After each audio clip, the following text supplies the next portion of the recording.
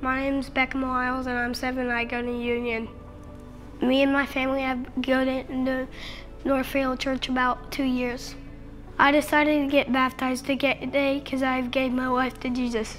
Again, my name is Beckham Lile and I wanted to get baptized today because I gave my life to Jesus.